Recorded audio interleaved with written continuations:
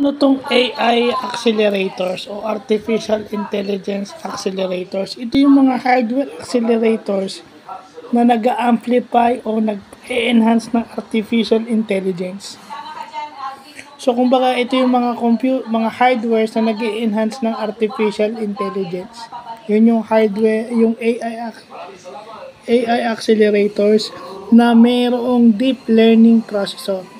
O yung deep learning processor yun yung electronic electronic circuit for deep learning. Ibig sabihin ng deep learning parang tao. Yung deep learning is habang lalong nasa isang environment, habang na, na-expose sila sa environment, sa sa may nakakahalubilo silang tao, halimbawa, natututunan nila o lagi nilang nakakasama yung tao na yun doon. Natututo sila kung paano makisama, makihalubilo dun sa tao na yun. So, yun yung deep learning. Habang tumatagal, natututo ka. No?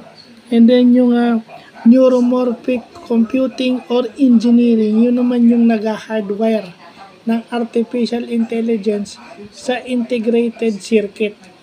Kumbaga hardware, yun yung nagtatap ng artificial intelligence sa printed circuit board. So pag nilagay mo siya sa printed circuit board, para ka nang may utak ng tao kasi hardware ng artificial intelligence mismo dun sa sa printed circuit board o dun sa ano, ang pinaka framework nun is yung breadboard, no? O yung printed circuit board na tinatawag. Hardware, ibig sabihin tinatap yung artificial intelligence sa isang uh, printed circuit board.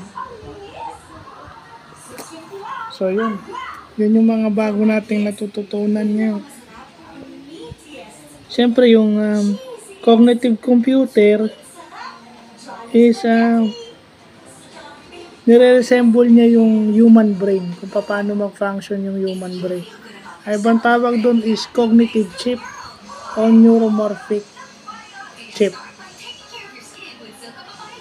Pag meron kang computer na kagaya ng tao mag-isip, ang tawag doon is cognitive computer. So, yun lang ang ibig sabihin. So, yun lang po.